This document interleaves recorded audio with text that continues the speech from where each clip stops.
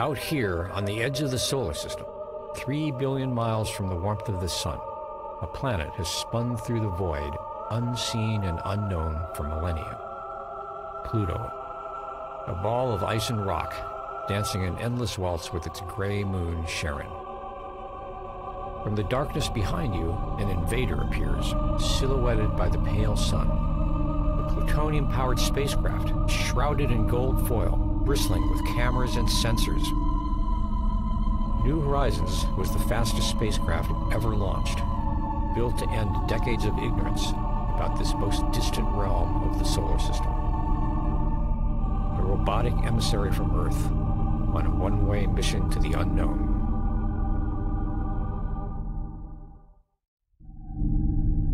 After nine and a half years of travel, New Horizons had reached its goal. But it would have only one chance a few precious hours of swiveling and clicking to map Pluto's surface, sniff its atmosphere, and study its moons. One short flyby to plumb a planet's mysteries or fail in the attempt. On July 14th, 2015 Earth time, success. New horizons flashed through the skies of Pluto, peering down at a rugged world of ice and frost unfolding in slow motion. Mighty mountain ranges stained brown and red. Dark highlands scarred with craters from a violent past. Bright sheets of ice forming a pale heart across Pluto's surface. And nestled above the western curve of Pluto's heart, a chaotic jumble of peaks, the Al Idrisi Mountains.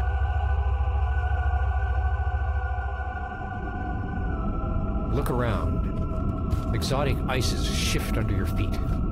You are standing where no known creature has ever stood. To either side and behind you, pink mountains of water ice rise as high as the Rockies. Climbing one would not take long. In Pluto's weak gravity, you are as light as a house cat back home. But home is a decade away, low on the horizon, somewhere in the glow of the distant sun. To your right, an icy plain stretches hundreds of miles across Pluto's heart, broken and cracked by deep canyons. The moon Charon looms on the horizon. Its surface looks split, evidence perhaps of an underground ocean that froze and burst. A cracked moon in a frozen sky. Flying inland from the Al Idrisi Mountains, we leave the plains behind. This is Viking Terra. Old ice, dark and deeply stained, punctured with craters and lined with trenches. And shining through the darkness below you, a bright ring of ice, Elliot Crater, 45 miles across and 2 miles deep.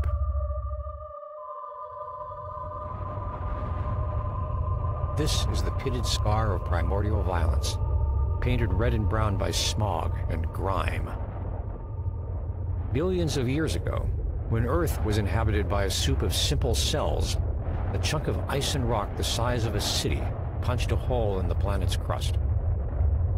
Fresh ice poured in, then retreated, leaving a frozen moat around a mile-high central peak. The crater's distant rim is lined with methane frost, an arc of white against the blackness of space.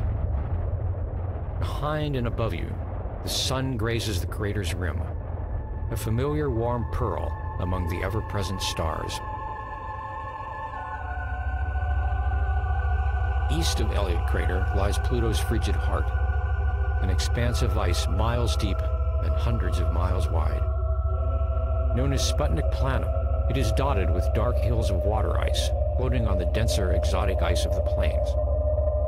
Within each broad plate, nitrogen ice, warmed by Pluto's core, slowly churns like a lava lamp. Take one last look at this world.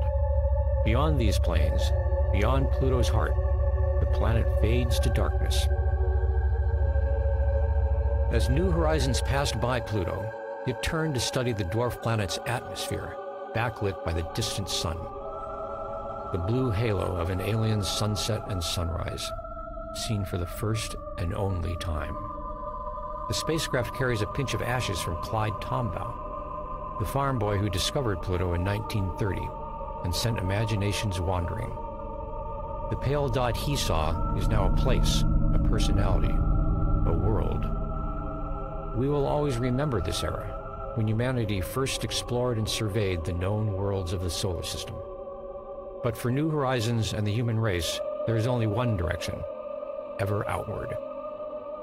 Out there in the dark, unknown worlds are waiting.